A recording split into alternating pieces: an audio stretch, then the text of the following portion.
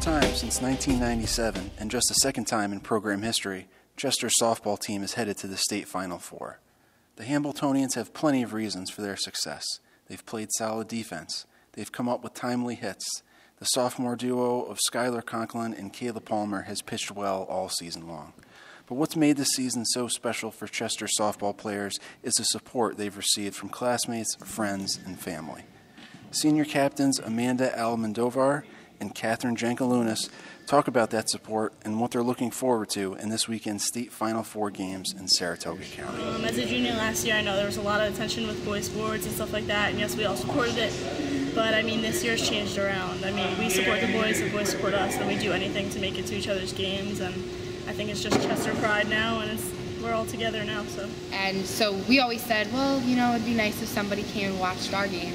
And this year, honestly, they everybody stepped it up. Like we saw tons and tons of people at our games, and it was it was really nice. Especially every team, I guess, for girls won the division this year, so we had so many supporters, and I think as a school, it brought us together because we actually we have a Chester fan page now. Like basketball, we were dressing in different colors. Like it brought us together as a school too. It was great. We heard a lot of congratulations, and even the other day, I was in my uniform in Shoprite, and someone like knew he knew like where we were playing and what time, and it's great that we have you know that all togetherness from that, and now we have connections with them, and you know they follow up on us. It's great.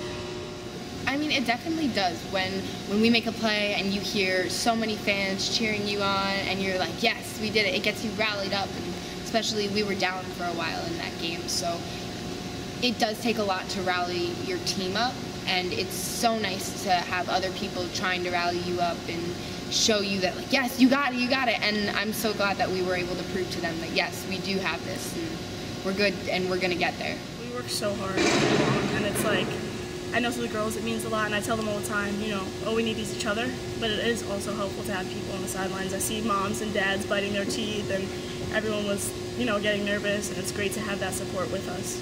A lot of people ask me, you know, what is our number one pitcher, and we don't have a number one. It's just whatever, like whoever's turn it is, and that's awesome for us. We, our pitching staff is incredible, and the girls work all year long in the winter and everything, and I give all the credit to Skylar and Kayla because they work harder than anyone.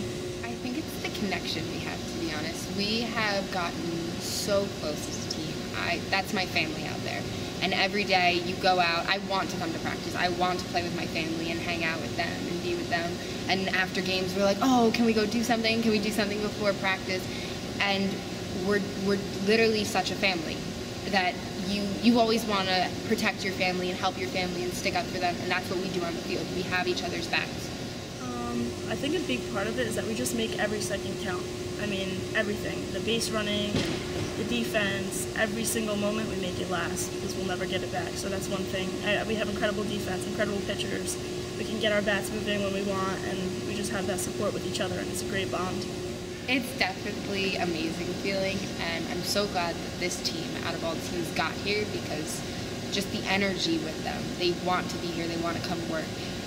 And I've seen everybody else like I've seen the football team get to this level, and I'm so proud that every year that they make it. And I just hope we get the same support, and I know we will because we're such a close school and community. So it'll be great.